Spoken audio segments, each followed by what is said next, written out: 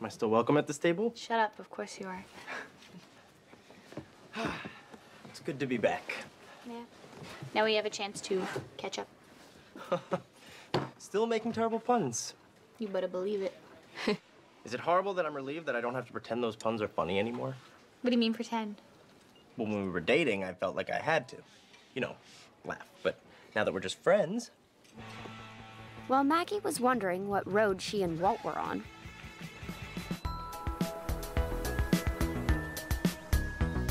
whoa.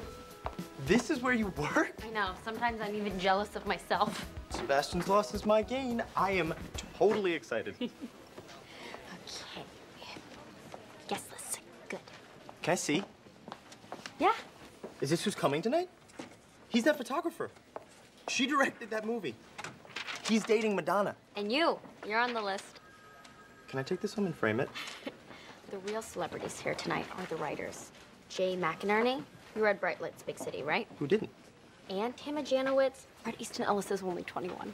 All the best writers do it when they're young, so they have something fresh to say. Fresh is yummy. Old is, well, old. I can't believe all his stories are about people like us, but with way nicer cars and a lot more drugs. Mm, you should get to work on that. the writing or the drugs? Ideally, both. This book all started with a journal that Bret was keeping in high school about him and his friends. That's what I write about in mine. Am I in it? Oh, Larissa, you remember my friend Walt? We met at your Halloween party. I had a Halloween party.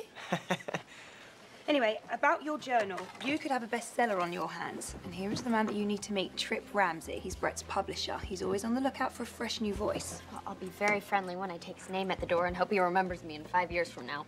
Why would you be working the door? Because you told me I had to. I didn't know such a thing. So I'll be checking coats.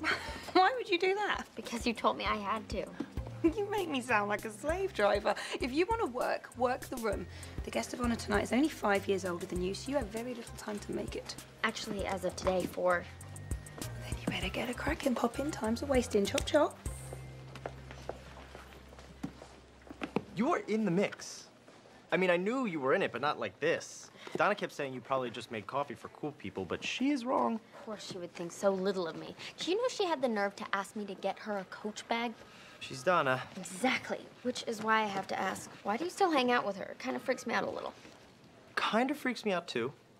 I know this is hard to believe, but Donna. I can talk to her. About what? Her outfit for tomorrow? you don't know her. She's actually a really good listener.